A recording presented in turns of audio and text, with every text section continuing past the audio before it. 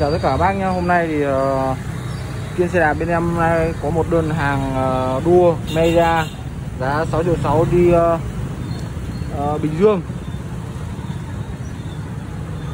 Hiện tại em đang ở bưu cục theo đây.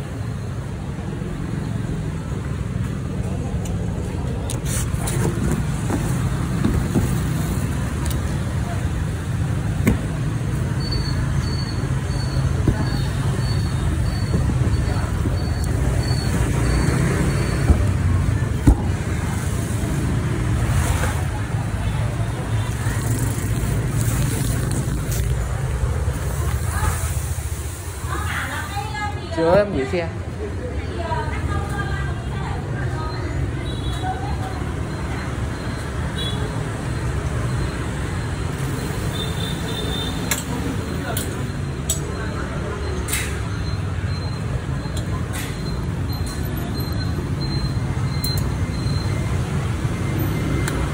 Hôm nay là ngày ờ, 12